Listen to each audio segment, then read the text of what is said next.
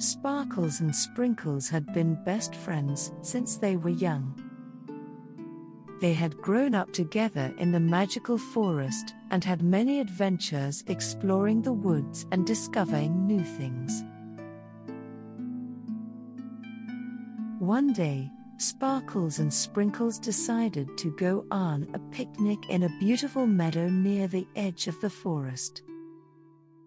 They packed a basket with delicious fruits and treats and set off on their adventure.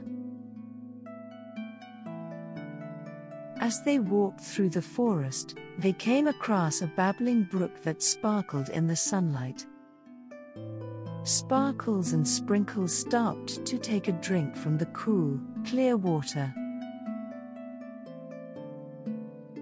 Suddenly, they heard a loud noise coming from the other side of the brook.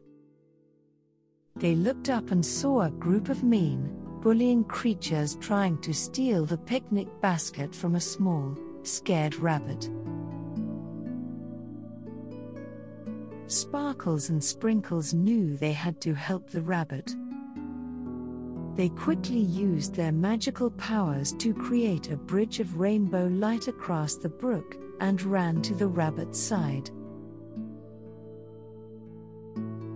The bullies were surprised to see Sparkles and Sprinkles standing up to them. But Sparkles and Sprinkles were not afraid. They used their magic to chase the bullies away and protect the rabbit.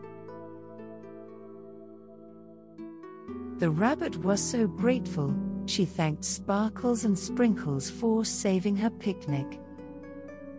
Sparkles and Sprinkles were happy to have helped their friend and to have had such a fun adventure together.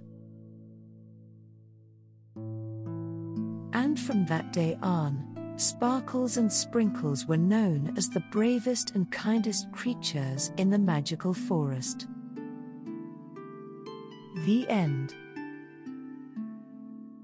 I hope you've enjoyed the story. I definitely enjoyed sharing it with you. Now let's close our eyes and calm our minds and drift off to dreamland. Sweet dreams and good night.